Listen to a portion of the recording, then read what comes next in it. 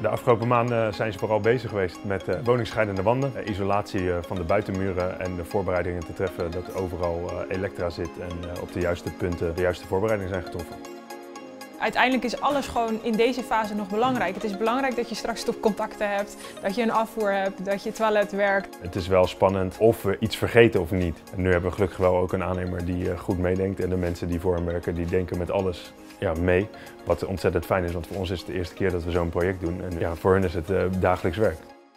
Wat voor ons wel het leukste was, was elke keer als we binnenkwamen dat er gewoon weer iets gedaan was. En dat dat toch wel, zeker aan het begin met die muren met de buren, dat dat echt wel hele grote stappen zijn.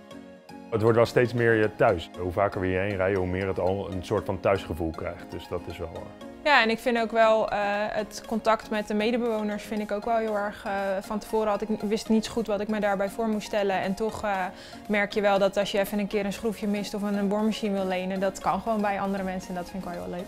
En het is inderdaad leuk dat je bij elkaar binnenloopt van hoe doe jij dit of hoe doe jij dat. En ja, ze komen ook vooral hier kijken hoe dingen zijn gedaan, dus dat is wel leuk. Een compliment, ja. ja. Al het schilderwerk en de inbouwkasten inrichten, dat soort dingen, dat gaan we allemaal zelf doen. Nu wordt uh, alle voorbereiding voor de elektra getroffen en dan gaan de muren ertussen. Dus dan wordt het in één keer een echte ruimte en dan kan je wel de beleving hebben zeg maar, van hoe het wordt. Ik kan me wel voorstellen dat we hier straks uh, op de bank zitten.